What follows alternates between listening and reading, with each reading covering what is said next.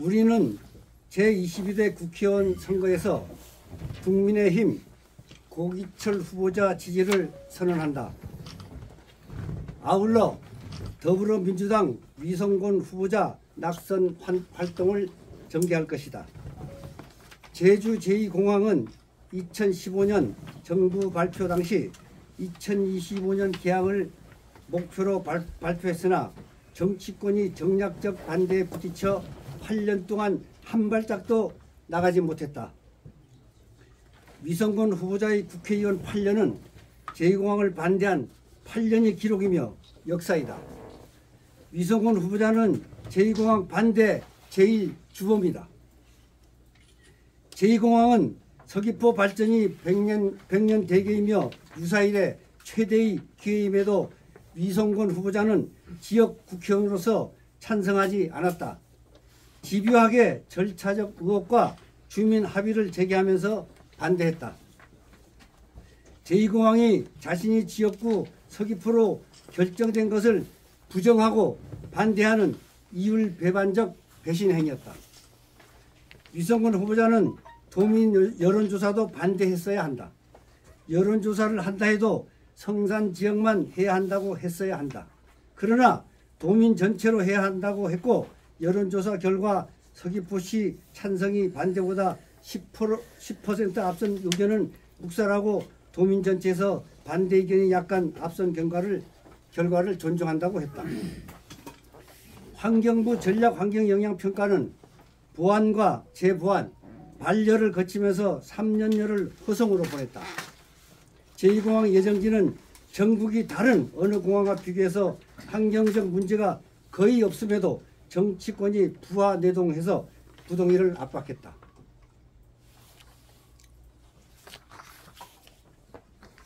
위성권 후보자는 환경부의 반려 결정을 존중한다고 했고 반려 결정 이전에 이전부터 제2공항은 성산으로 갈 수 없다면서 정석 비행장 대안을 주장했다. 위성권 후보자는 주민투표가 가장 유력한 방안이라고 주장을 한다. 주민투표는 법적 구속력이 없으니 실현 가능성이 없고 찬반 어느 한쪽도 승복하지 않을 것을 뻔히 알면서도 8년 내내 도민 합의를 빙자하면서 갈등을 조장해왔다.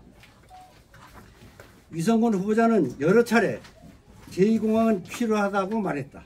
이를 두고 언론이 위성군, 위성군 제2공항 찬성이라고 보도를 하면 즉시 반대 측이 강력하게 반발했고 위성군 후보자는 다만 절차적 정당성과 주민 합의를 전제한다로 말을 바꿨다. 위성군이 말 바꾸기와 오락가락 행태는 이미 유명해졌고 정평이 나 있다. 이번 선거 임박해서 위기를 느낀 위성군 후보자가 다시 말장난을 시작했다. 제2공항은 필요하다. 일관되게 피, 필요성을 필요하게 왔다고 했는데 제2공항은 이미 국토부 고시를 앞둔 상태이니 거스를 수 없는 흐름에 편성하려는 비굴한 은행이다. 한마디로 찬성하는 척 여론을 호도하려는 새빨간 거짓말이다. 제2공항이 필요하다는 말과 찬성한다는 말은 뜻이 다르다. 유성군 후보자는 제2공항이 필요하다는 필요하다고는 했어도 찬성한다고 표현은 단 한 번도 쓰지 않았다. 진정한 찬성은 행동으로 보이면 되는 것이다. 군사기지 갈등 해소 운운하는 구실은 구창, 구차한 별명거리일 뿐이다. 지금껏 반대 행위에 대한 반성과 사과부터 해야 된다. 이성권 후보자가 며칠 전 2015년 제2공항 발표 당시 제일 먼저 찬성 입장을 밝혔다고 했는데 발언 내용이 알쏭달쏭했다. 찬성 공항을 추진하는 사람과 환경이 파괴돼서 제주의 지속 가능성이 없어진다는 의견들이 존재해 왔는데 갈등을 조정하고 관리하는 것도 정치인이 역할이라는 입장을 갖고 추진해 왔다고 했는데 찬성하는 듯 보이는 보이려는 말장난이다.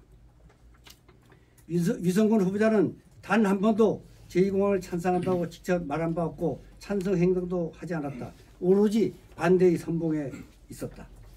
2015년 제2공항이 성산으로 발표 당시 도의원 위성군은 서귀포시청에서 기자회견을 하면서 산남 지역의 제2공항 건설을 환영한다. 서귀포 시민이 절박한 외침이 비로소 결실을 맺어져 매겨져 제2공항 유치로 서귀포시 비약적 발전과 도약이 밑거름이 될 것이다. 앞으로 예정된 절차와 경과를 거쳐서 2025년 이전이라도 조속히 개- 개항할 수 있도록 도민 모두가 정부, 제주도가 지혜를 모아야 할 것이다 라고 했다. 이것을 두고 자신이 제일 먼저 찬성 입장을 밝혔다고 했는데 국회의원이 된 이후 정반대로 8년 전에 반대만 했으니 도의원적의 소신을 버리고 반대로 돌아섰다는 것이다. 위성군 후보자가 서귀포 지역구를 위해 제2공항 찬성했더라면 제2공항은 정상 추진되었을 것이다. 이번에 우리는 제2공항을 바로 막- 가로막는 위성군 후보자의 배신을 심판할 것이다. 고기철 후보자는 제2공항 조서관 착공을 공약했다.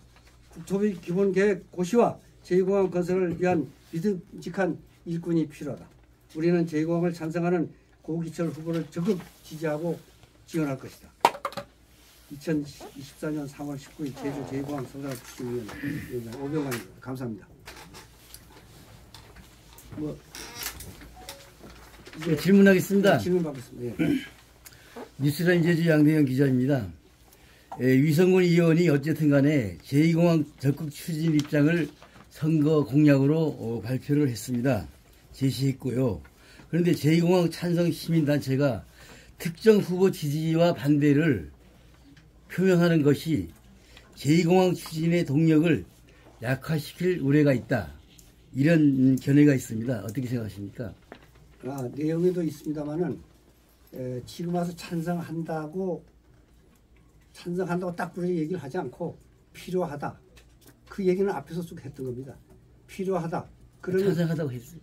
찬성한다 찬성하는 건 행동으로 보여야지 지금 와서 아, 그렇지, 그러니까, 다급하니까 다급하니까 또 이제 여론도 지금 비등해지고 위기감을 느끼니까 그리고 제2공항은 대세가 정권 교체 이후 뭐 환경을 저 평- 평가가 이제 조건부 동의가 되고 고시를 앞둔 시점에 지지가 반대했다고 될 것도 아니고 이제 찬성하는 쪽 돌아서는 그런 말장난을 하는 것입니다. 저는 그렇게 생각합니다. 뉴스엔 제주 현달원 기자인데요. 아이러니한 거는 엊그제 그 여론조사에 보면 네.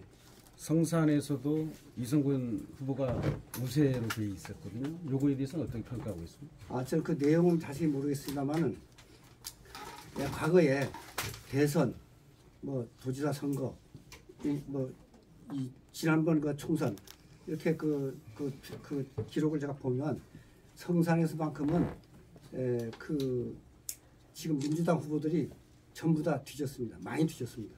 그 당의 여론도 뒤졌습니다. 이건 뭐냐?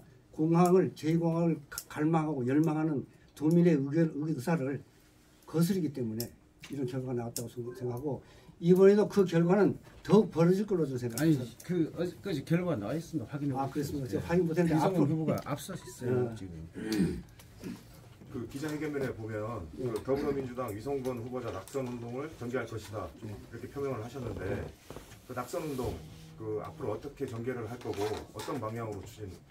에, 저희들이 지금 뭐그 규탄하고 비난하고 이제까지 그 거짓말했던 것을 밝히는 것 이런 것들이 다 그 범죄 안에 들어가기 때문에 저희는 이걸 앞으로 더 강력하게 해 나갈 것입니다. 네, 예, 라이브 제주 김문석 기자인데요. 네, 네. 지금 어쨌든 간에 우리 성산 지역의 그 제2공항을 예, 건립을 하려면 어쨌든 간에 특정 후보 뭐 한쪽 저 그 후보만 지지할 것이 아니고 양쪽 후보한테 우리 공항 제2공항을 이제 설립해야 될 되는 이유를 얘기해서 어느 후보가 당선될지 모르기 때문에 그거를 해서 좀 협, 협상을 한다든지 건의를 해서 추진하는 게 더 옳지, 않을까 생각을 합니다만 그런 생각은 어떻습니까?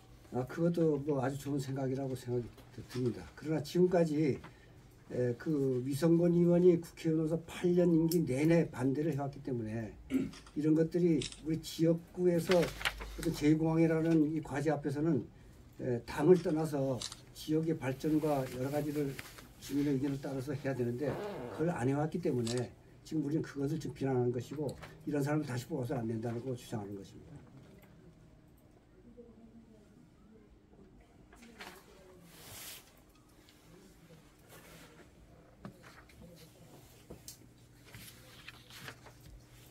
네, 또 질문 좀 해.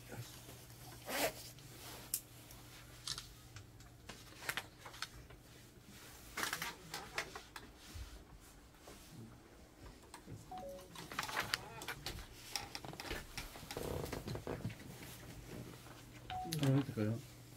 그 서귀포 시민을 좀 만나보면 서귀포 시민들의 몇몇 뭐 얘기하는 것이 성산이나 제주시나 거리는 똑같다. 거의 한 시간 정도 걸린다. 그런 의견으로 그렇게 성, 이 서귀포 시민들은 그렇게 말하는 사람도 있습니다. 이 공항에 대해서 그런 부분에 대해서 어떻게 생각하십니까? 네, 그거는 이제 제주시 쪽에서 이제 두드러지게 그런 그 또 현상이 그런 대답도 나오고 또 제주시 쪽에 갑 우리 지역의 후보자들이 그걸 자꾸 이용하고 하는데 에, 거리는 문제가 되지 않다고 생각합니다. 왜냐하면 특히 한림 해울 쪽에서 성산까지 뭐 두 시간 비행기 타러 어떻게 가느냐 하는 발언들이 종종 있었는데 그걸 서귀포에서 본다면 서귀포에서 산을 넘어가고 성산으로 가는 거리나 제, 제주공항으로 가는 거리나 같다면 그거는 거론할 여지가 없는 것이고요. 단지 제, 제주공항을 없애버리고 제2공항을 만든다면 뭐 그건 그런 얘기가 될 수 있습니다. 그러나 현- 현재 포화 상태인 제주공항의 기능을 분산해서 이 뭐 안전 문제라든지 이런 것들을 도모하기 위해서 제2공항이 필요하기 때문에 이거는 절, 절대 당연하다. 그러니까 이런 거를 정치인들이 이용하게 이상하게 뭐그 가서 힘- 힘들게 두 시간씩 뭐 가느냐 우리 제주시 상권이 다 망하지 않느냐 뭐 이런 식으로 하는 거는 그건 적, 적합지 않다 이 자리에는 우창범 국민의힘 예, 제2공학 특별위원회 위원장이 나오셨습니다. 나왔는데 예, 위원장님께 질문하겠습니다. 그 고광철 후보는 음, 그 내용 아시죠? 그 제, 네. 시민들과 물어, 물어봐서 결정하겠다. 이거는 에, 대통령 공- 공약이나 장동영 사무총장의 얘기와도 배치되는 얘기입니다. 그 부분에 대해서 좀 얘기 좀 해주십시오. 네, 저도 그 저 보도를 봤는데요. 고광철 후보자는 저도 잘 모릅니다. 모르는데 에, 뒤늦게 이제 그 결정이 된 걸로 알고 있는데 그 양반이 이제 그 내려오면서 그 잠깐 들리기로는 아까 그런 이상한 것들을 들은 것 같아요. 뭐 제 제 그 자기 지역구에서는 어, 제공을 반대한다 전체 여론적으로 왜냐하면 그 지역에 뭐 상권이 뭐 잘못된다든지 아니면 아까 같이 거리가 먼 성산까지 가야 되는데 이러한 걸 가지고 주민의 반대 여론을 의식한 그 어떤 그, 그 그분들의 그 마음을 사기 위한 발언을 했던 것인데 지금 막 어젠가 보니까 또 발언을 좀 번복했더라고요. 네, 그렇게 알고 있습니다. 그래서 그 고기철 후보 입장에서는 그런 발언 때문에 좀 열 받거나 그러지 않나요? 아, 제가 저 뭐 마음에 들지 않았습니다. 그리고 이런 것들은 에, 우리가 뭐 뭐라 하기보다는 당 차원에서 뭐 그 국민이 뭐 도당이라든지 그 도당 그, 어, 거기서 어떤 그, 그 후보자에 대한 어떤 데려다가 마, 자, 저 설명을 하든지 아니면 성명을 내든지 하는 것이 나는 그런 것들이 좀 이루어져서 어제 또 번복했지 않나 이렇게 생각합니다.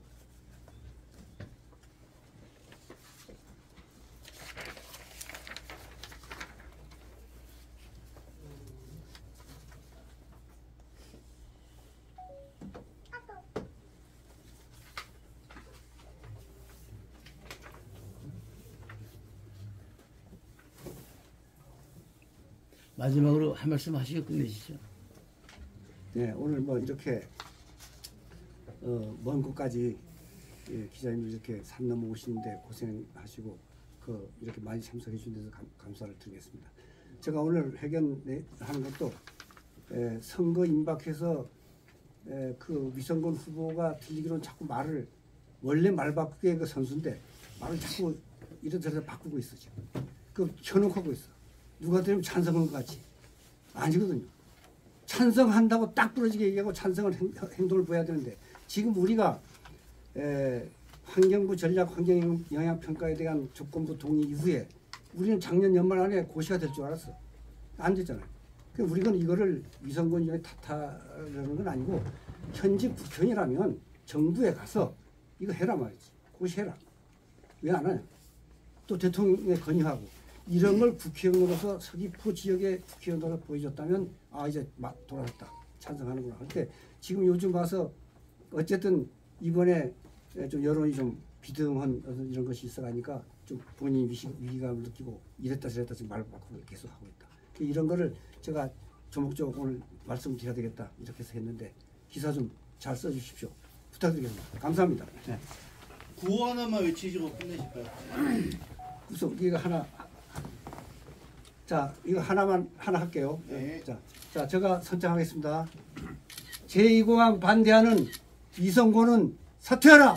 사퇴하라. 사퇴하라. 사퇴하라. 감사합니다.